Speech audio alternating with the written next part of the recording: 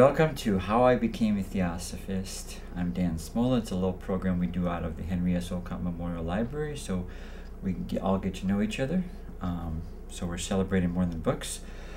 We're celebrating very special people, and um, I'm really glad to have uh, Wynnie Wylie is here for summer Mhm. national conference, and just in talking with her in passing at lunch, I just got more and more fascinated by you have interesting things to say about everything, let alone the fact that you have this rich history in theosophy. So maybe we could start with that. You're, you're, you grew up in theosophy. hmm Um, if you could talk about that a little bit. Um, one of my first memories is when I was two years old, and I was taken by my parents to a picnic uh, at Edwin Lord's um, place, and there were there was a huge gathering of theosophists uh, at, at- next to a lake. And I was two years old. I stepped off into the water and began to drown. I was floating up and down. I wasn't afraid, but but I was floating up and down. I'm not sure why I wasn't afraid because I was just quite comfortable in the water. But just at the last minute, one of the theosophists pulled me out of the water, and uh, I was okay. Wow. But I never was afraid of water, even in spite of that. But anyway, I always felt that uh, I had a theosophical family around me, watching over me. I think maybe that was one uh, occasion when that when I felt that very strongly. Did somebody physically pull you out of the water? Mhm. Too. Okay. Um, and and so your father and also your father's father, or you, you- you're the third generation of theosophists? No, Oh. uh, no, I'm just the second. Uh, Second my, generation. my mother and father were both theosophists. Okay. Uh-huh. Oh, do you want to hear anything about my father? Please. Okay. My father was a very unusual uh, person because partly because of his history. Um, he was uh, his mother died when he was only five years old. He grew up in Vermont, and it was very hard for his father because his father worked on the trains, and he couldn't take care of my father. So he put him up for adoption, and he was adopted by a family that a mother, uh, the, his adopted mother was related to his real mother. But um, anyway, uh, he he he wrote his father a letter um, before uh, you know shortly after he was adopted, and uh, it was a lovely letter. I still have it. And uh, then his adopted father died when he was eight. So uh, then he was sent by his uh, stepmother to stay with relatives of his real family in Chicago. And uh, he made friends, he had many friends nearby. And uh, one day there was uh, supposed to be a circus. And he was supposed to go to the circus, but he was sick, so he couldn't go. But it was the, d- the day of the Chicago fire and it burned the circus tent, and many of his closest um, friends were uh, burned in the fire, and he was called in to identify them. Hmm. Very, very difficult beginning. And um, a Catholic priest um, thought that he was having a lot of problems and that he needed his mother. So he contacted his stepmother, who was uh, the dean of a women's college in Walla Walla, Washington. And she came and she took him back to Washington with her. And she was one who loved history very, very much. I'm sure that's my father began to really like history because of that. But somehow or other, and I don't really know, I never asked my father, I should have. He went out on his own at the age of 13 and began helping with putting up the power lines that were crossing the West Oh. um, when he was uh, very, very, very young. And from that, uh, he went into the army, the First World War. He was a sergeant. He was very good with men, so they said. And so they gave him the, the most difficult troops to train so they would be ready to go overseas. And he was very unhappy with that. He really wanted to go overseas himself, and he, he made application to do that. And uh, so finally he came through, his orders came through, and they sent him by train across to New York City. And he put up on a ship headed out for uh, Europe. When armistice was declared, the ship turned around and he was put off in New York. And he was, of course, happy. It was very good that Yeah. the war was over with and so forth. And he, then he decided he would try to find his sisters. He had uh, sisters who were in Vermont, and he learned that he had one sister that was in Detroit, Michigan. So he went to Detroit, Michigan to see if he could find her. And uh, her name was Bess Palmer. And when um, he contacted her, um, she, he found he was very, very happy to find a relative. And she was uh, a very interesting person um, because uh, she read tea leaves and a, a very wealthy member of uh, the Theosophical Society at that time, a man named, um, uh, man named, I forgot his name right now. Okay. Anyway, uh, he went to the, um, he went for a, a tea, and uh, she read his tea leaves, and she told him that he had a friend uh, who had recently died, and she told him a lot of information about the friend. And he, he had not kept in contact with this friend. And when he contacted, uh, when he made an effort, he discovered that it, she was absolutely right, he had died. And many other details that she had given him were true. So um, he became very interested and wanted her to, to read tea leaves some more. But she refused to do it because she felt that this was diverting and not really uh, getting into serious things.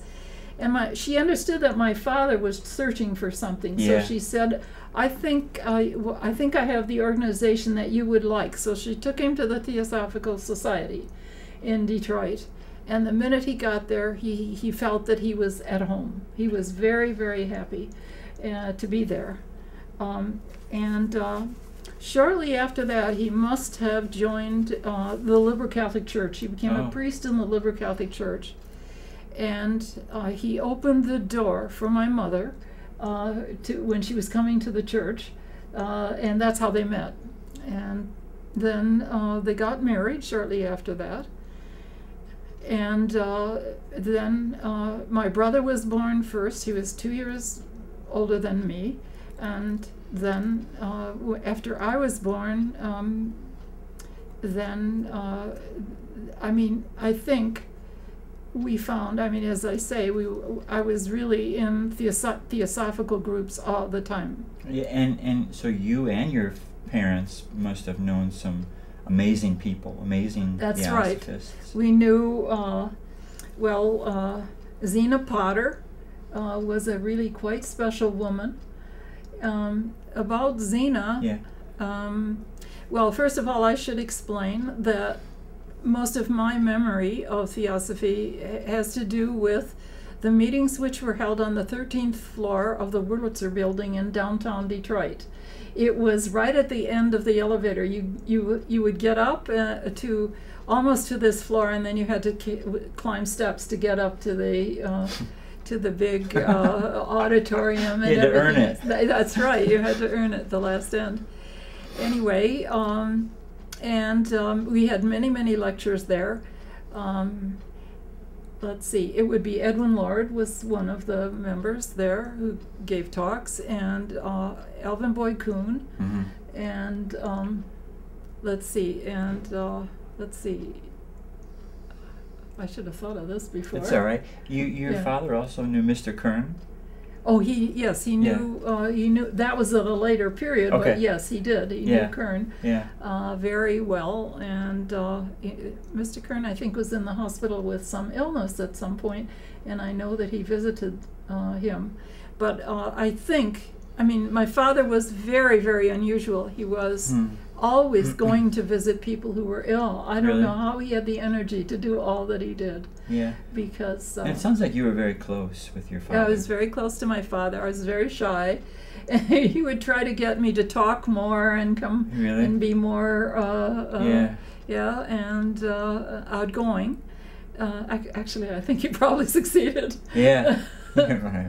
Yeah. um, and so it sounds like a very rich childhood. Um, growing, and you grew up in kind of one of the golden eras of theosophy in a very active area for Yeah. it. My father uh, was also the president of the Vegetarian Society in Detroit, and that was another thing. I was brought, brought up as a vegetarian at a time when being a vegetarian was to be a pioneer.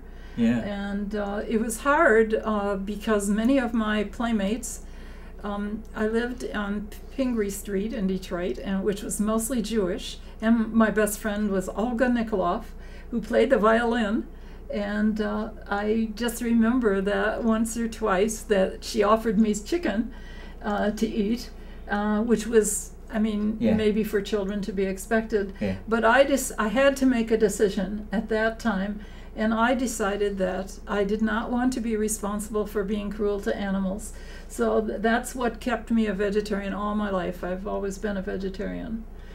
So I want to ask you more things about um, um, your your life, but before we talk more about this life, one thing I wanted to talk to you about was um, what we talked about earlier at lunch, which is um, uh, past lives. Mhm. And you had the good fortune of meeting somebody gifted in this area uh, who could help you, uh, Dora, right? Mhm. Dora Kunz. That's right. And so, could you talk a little bit about that and, you, and your interest in the subject in general? Well, um, when I went to college, uh, I got my degree at University of Michigan in classical studies, and uh, that included classical Greek and Wow. Latin. Anyway, uh, I was very drawn to the classical world. I, but I wasn't. I mean, actually, I wanted to be an archaeologist, but I didn't want to be an American archaeologist because I felt that American archaeology was very backward and uh, was, I mean, did not appreciate the fact that there were uh, there were people living in America many many years ago. They thought that only the Clovis people, uh, the period of archaeology when human beings first came to America, was when they discovered the points called the Clovis points. And that's, uh, I, I'm not going to be perfectly accurate. I think it was about 12,000 years ago. And uh, I thought that humans were here in America many thousands of years before. And now this is what the, the archaeological world is acknowledging now that in fact men and women lived in America many, many years earlier. They've done a, a genetic study of Indians in the Great Lakes area, and they have now decided from the genes of the Ojibwe Indians that they have a heritage of the um, Solutrean people of Europe, which trace back to about 35,000 years ago. The, the latest uh, cave discovered, which was um, part of their uh, culture, was uh, Chauvet, uh, with beautiful paintings of animals on the cave walls, which I mean, they, they reflect uh, an appreciation of shades and shadows and, uh, and uh, very sophisticated painting Where is that cave? in France. Oh, in France. Okay. Yeah. Uh-huh. And therefore, um, they, now they feel that these people had to have come to America Yeah. since they were ancestors of the Ojibwe, but they don't know how they got here because science believes that all of the Atlantic Ocean was at this time frozen and very difficult to cross. And so they have uh, they have designed and believe that they came in boats like the Eskimos ride in skin boats and then got on the icebergs uh, periodically to rest and then came on to the Uni- United States. And your um, uh, literal association or past life association. Yes, Yeah. well, when I mentioned that I was interested in Yeah. uh, the Greeks um, here at Olcott, uh, this was when Dora was president. Anyway, I didn't ask anybody to look into my past. I thought that was somewhat presumptuous. But I was very happy one day to receive a letter from Dora, and she said that I was uh, in Sicily in a past life, but not of the, the criminal class, which uh, it, it, of course, has a reputation for. And, uh, and all, but all of the east coast of Sicily has Taormina and Syracuse, many of the centers which were Greek uh, settlements.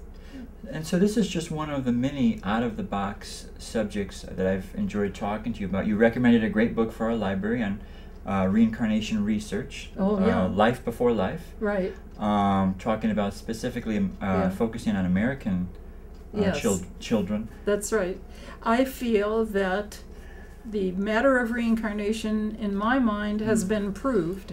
Uh, Even though I've alre always believed in reincarnation because I was raised in the Theosophical Society, I felt that it was necessary to see in uh, evidence from our modern day um, something that would prove that. And this seems to me to prove it because my life has been spent uh, teaching children Yeah. and very small children in the beginning. And I can't believe that a three year old would make up uh, a story and say he was uh, born in a past life and give all the details about it, which can be researched and then you trace it back and find it out. There are many uh, different occasions when children have done this. They just don't make things up. Three year olds tell you the truth, often when you wish they wouldn't. so, uh, anyway, uh, I believe that's been proved that uh, reincarnation is um, a fact. Of course, uh, I think it's it changes everyone's. It should change everyone's perspective, because if you have many lives in which to uh, acquire wisdom, uh, you uh, it's not the same as um, being condemned to hell for uh, mistakes you made in one life or another because well actually what they say is that the word sin is taken from i believe uh, the greek and it means to miss the mark Hmm. and therefore uh, it's uh, it would be unthinkable for a, a, a, benevolent God or any creation to condemn anybody for making a mistake when they did not understand the situation. And I think many lifetimes eventually people do understand. And and another subject, of course, that you're interested in is education hmm from a theosophical or spiritual perspective. So you've had a rich career Uh-huh. with education. Um, you, I think you started a Montessori school. I started the first Montessori school in Michigan, um, but uh, I did it with my sister in law. It was after I had graduated from college. And uh, she and I talked and felt that it was that education for preschool children was just not adequate, that it was not really reaching the children. I feel that two year old and three year old and four year old children are far wiser and far more um, sensitive and perceptive than people realize. And uh, they, one of the features of Montessori is to train children into independence by providing them with uh, guidance and help in learning to do all kinds of activities for themselves, like even such a thing as putting their jacket on by themselves or Mm. tying their own shoes. She felt that it was a, a real shame for uh, children to be dependent, either raised by a nanny or being very dependent upon their parents to do everything for them when they really want to be creative and do things for themselves. In fact, uh, they they begin to walk. You don't teach them to walk. The child teaches himself to walk, and they you don't teach him to talk. Although of course you need to be talking when he's around. He just uh, he just is determined to learn what you're saying, and he learns whatever language it is that you're speaking. That's what a two and three year old child learns, and they're very very fast and good at doing this. So um, it's uh, I think they're underestimated a very great deal.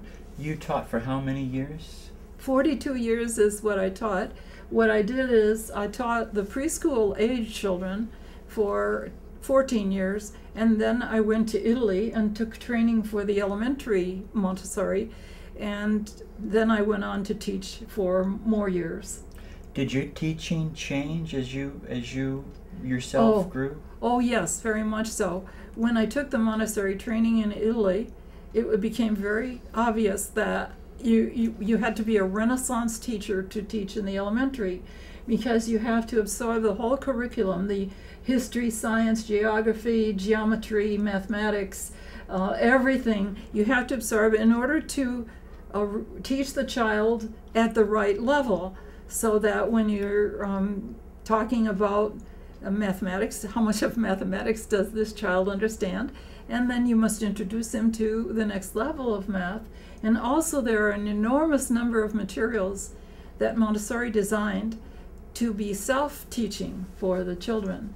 And also, one characteristic of Montessori that I think the modern world is in desperate need of, and that is the materials that are offered the child in Montessori are offered to a two, two and a half year old, to a three year old, to a four year old, the same material, because the material has secrets to tell, even after he's understood the significance of a particular piece of material, he can look deeper and understand even more by uh, continuing to work with the same material. And I think that in our modern world, we tend not to look deeply. We think we've understood something by having one explanation. And what is needed is look, to look deeper and deeper in order to truly understand any facet of life. And and I know, eh, sort of in general, um, one one thing that I found real refreshing is that you feel your your uh, approach to theosophy is that it cannot be separated from everyday life. Oh no, that's true. That's Yeah, exactly. and so and so maybe part of part of your theosophy is almost a sense of responsibility to Yes, engage in life, Yes, that's right. which not everybody shares with you. No, I know. Uh, um, so let's just talk about a couple aspects um, that we talked about before. One, I know one of your many passions also is um, discussing the environment, oh yes, exactly. and um, uh, there's so much to, to talk about. There seems like there's Yeah. so- quite a mess, but but but but you do, you feel that, and this is uh, some theosophists disagree, but you feel that much of the mess is definitely man-made. I do. Yeah. Oh, yes. Um, well, uh, part of the complications of uh, destruction of the environment have to do with the treatment of um, plant life and animal life.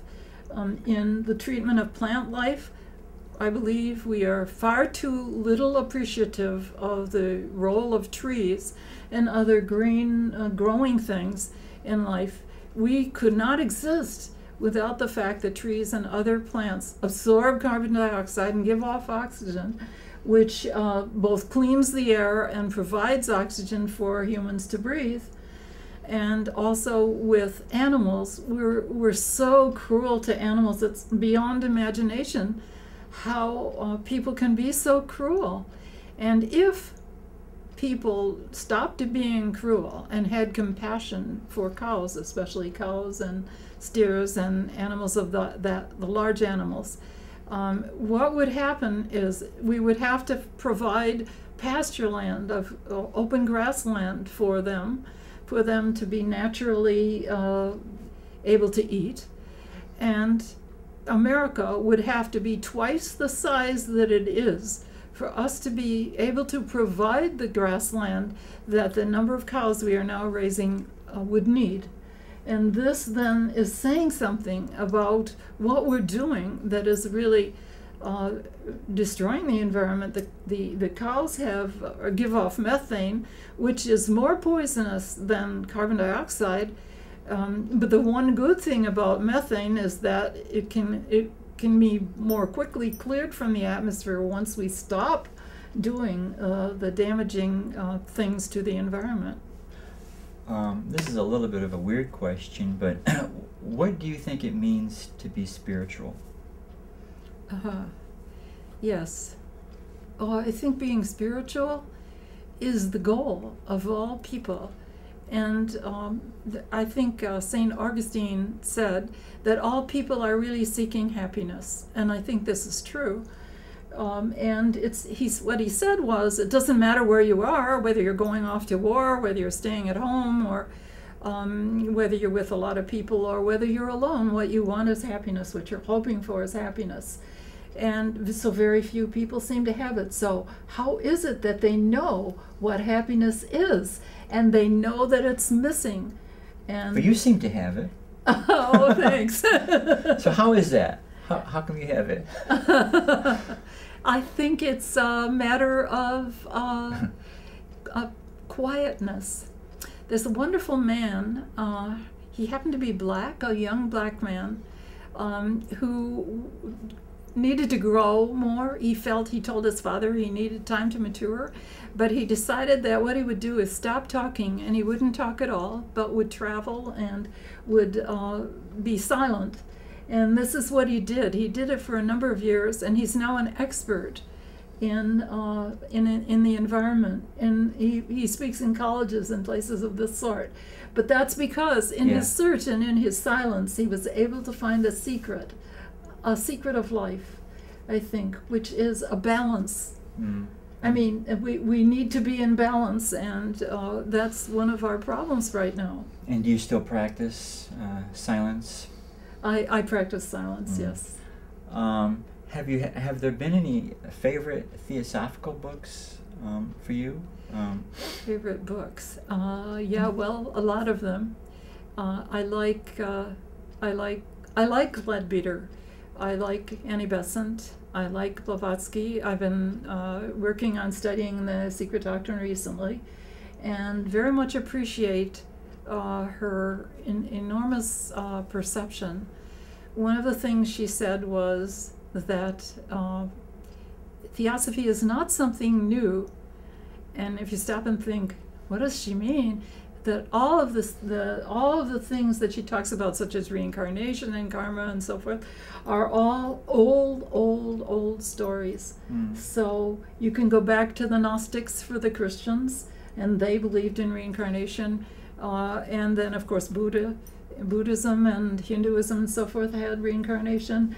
And uh, many of them had uh, a deep, well, I think that the that Blavatsky and Olcott went to India uh, to help defend India um, and the Hindu perspective from the Christian missionaries who were very critical and very um, superior, feeling very superior to the uh, Indians. And much much of the vocabulary, which is in in the Theosophical Society, is actually Hindu. I mean, Atma Buddhi Manas and so forth, all of these things. And I think this is, uh, but of course, it's very old. Hinduism is older than Christianity, even. And, uh, but they all, these great religions, have, in a sense, the same secrets. And one needs only to look deeply to realize that this is so. and so this is where you get your uh, eternal news. And but I also wanted to know where do you get your everyday temporal news? Because we've only brushed the surface here. Trust me. Um, this woman can talk about just about anything with detail. it's amazing. So where how do where how do you learn about everyday uh, issues Uh-huh. and Well, I read, uh, I read Time, I read Newsweek, I read the Ann Arbor News, I read, uh, I look at, I watch news on television. Usually, I like uh, PBS. It's uh, very much more uh, in depth, news in depth, and very, um, and very much less biased, I think, than many of the other places to get news. yeah So I like that, and and also I just like talking to people about news. I find a lot out about that, and also I have a lot of favorite books. I have one particular book that talks about the environment, that talks about the problems we have with global warming and and uh, carbon dioxide. It's um, it's call, called Under the Green Sky. It's written by Peter Ward, and it talks about. It's really very frightening if you read it, and yet it's dealing with the truth of the situation. And he says uh, that one of the problems is that the Atlantic Ocean is so very, very important uh, to the climate and and the well-being of both Europe and America. He and he says he talks about the North Atlantic, and that the uh, pteropods are are having their the shells of the pteropods are eroding off of them uh, because of the high acidic level in the ocean. And um, there's so many things to do with the ocean that are crucial. Um, there's a thermohaline current which um, in the north part of the Atlantic, the cold water drops down and flows southward. And that brings uh, oxygen and food uh, particles and everything for the uh, living animals in the south part of the Atlantic. And of course, the, the warm current of the Atlantic flows northward, which heats up, gives heat to England and Ireland, uh, which if, without that it would be very cold there. So, uh, what's happening to that current is that um, the Atlantic Ocean is now melting and warming the ice. And as it gets warmer, that thermohaline current will no longer flow southward. And, uh, and then who knows? I do not, I don't think science knows exactly what will happen. But it means that the creatures on the south, on the bottom of the ocean, will, many of them will die and uh, it can be also a, a, very dangerous period for Americans as well. Could I play devil's advocate for Sure, please. all right, all right. What about this perspective? Some might say, Wynnie, you have all this rich spiritual literature with theosophy and and, and, and we've we've we've told you about the different planes and there's higher levels of consciousness. Yes. And please, Wynnie, why don't you go up here where it's nice? Uh-huh. Up here in this higher level because Uh-huh. it's nice and clean and it's nice and pure. You're spending all your time. Uh, the ocean's polluted. It's all Uh-huh. dirt. Come on, Yeah, leave yeah, that alone. yeah. It's it's it's temporary, anyways. We Yeah. have. Why do you mess around with these things that are temp are that are temporary and dense and Uh-huh. physical? Is why is that important? Well, what I think is it has to do with the heart. Um, I think that we have to, we are not just human beings. I think that we think that we humans are the only um, important creatures on earth often. And this is really very sad because animals have such a rich life which we don't understand because we don't respect them. And plants have a very rich life as well. I uh, we have a I have a yard outside my the school, the downstairs Montessori school at, where I live, and um, I saw a, a tree, a young tree, growing in it, and the leaves were very, very green. It was looking wonderfully rich and uh, healthy, and it was growing very quickly. So I said to the Heidi, the Montessori teacher, I said to her, Are you meditating uh, on that tree? She said, Yes, and I'm getting the children to do it too. anyway, that's one feature that we need to appreciate that our minds and our hearts uh, can make a dramatic change in any of the life around us if we only have sufficient love and appreciation for both the plants and the animals. And it's a it's a two way street. It's a two-way street. Give love, we'll get love yeah, back. that's right, exactly. yeah. Yes.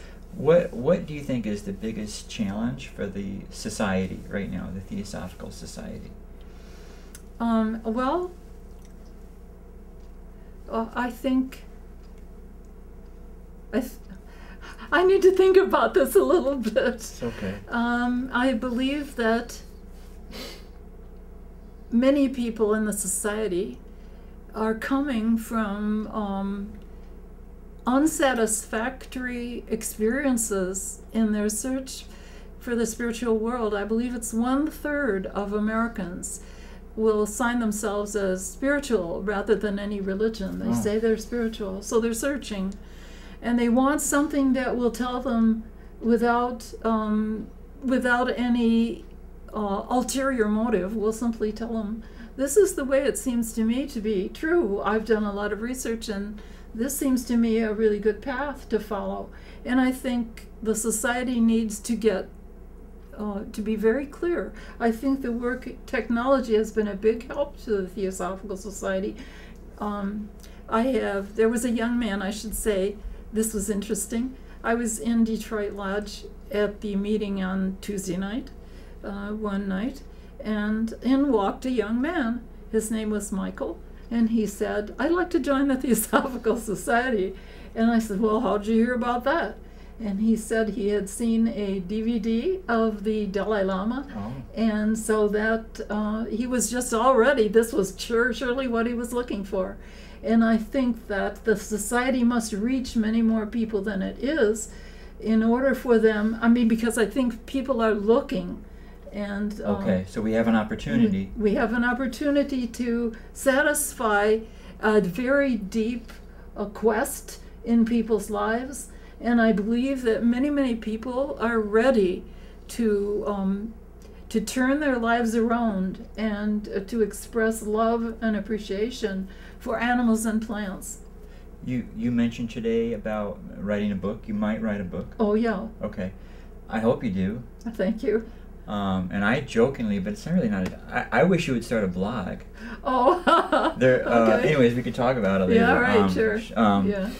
So you've kind of already answered it, but the last question I always ask people is is is in the near future of the Theosophical Society, both in America and internationally, what would be your ideal scenario, say twenty five or thirty years from now?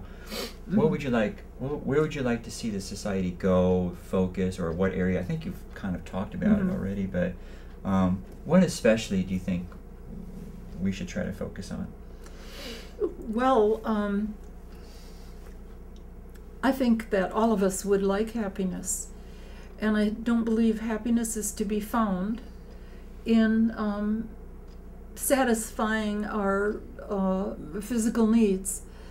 I I mean, I look at a person like Marilyn Monroe, for instance, you would have thought she had uh, fame, she had beauty, um, she was very um, appealing to so many millions of people, and she's still appealing because she's still being her picture is still being shown and so Yeah. forth. And yet she was very unhappy because otherwise she wouldn't have turned to drugs or other things to uh, escape her difficulties. What was the cause of her difficulties? And there are many other people, Michael Jackson, uh, many other people for whom you could say the same thing. Yeah. And I think that happiness isn't to be found in fame or money or things, having lots and lots of things, or uh, any of those areas. I think it's to be found in uh, in loving people and loving animals and loving life, uh, and uh, and just uh, enjoying uh, what is there to see, because often um, you, we just walk down the street. There's beautiful, beautiful animals and beautiful plants and lovely people, and we just don't pay any attention to them because we have in mind uh, some we, we, we want to buy something at the store or we whatever. Well, I wish I could ask you a bunch more questions, but I don't want to keep you too long. But uh, it's, I just like listening to you. Um, I, I said that was the last question, but I'm gonna I'm gonna slip one more in there. You've kind of answered this already, but um, what other general advice would you give to a new person, a new person to theosophy? Okay, well, um, I think that uh, becoming a member of the Theosophical Society is a great challenge because, as Blavatsky said, theosophy is not something new. What that means is that you, as a member of the society, are on your own in a way to pursue the truth. And uh, be, so, so what you've got to do is make yourself a Renaissance person. But that's very exciting because, uh, in a in a in a sense, you you have questions and and many answers in so many different fields. And actually, life will lead you. This is what I find that uh, just when I think, oh, I've I've uh, read that book and so forth, and I wonder what's new, and then suddenly another book will will show itself, and with a wonderful, fascinating subject, and. Um, so there's a never-ending field of wonderful uh, things ahead for you. So I, I just want to thank you uh, Oh, sure. uh, for sitting here and for sharing. And I think um, uh, I, uh, I uh, hopefully you'll finish that book and um, and you. even consider the blog. Okay, thank you. Wynnie Wylie, what a what a treat. Oh, thank you. Thank you.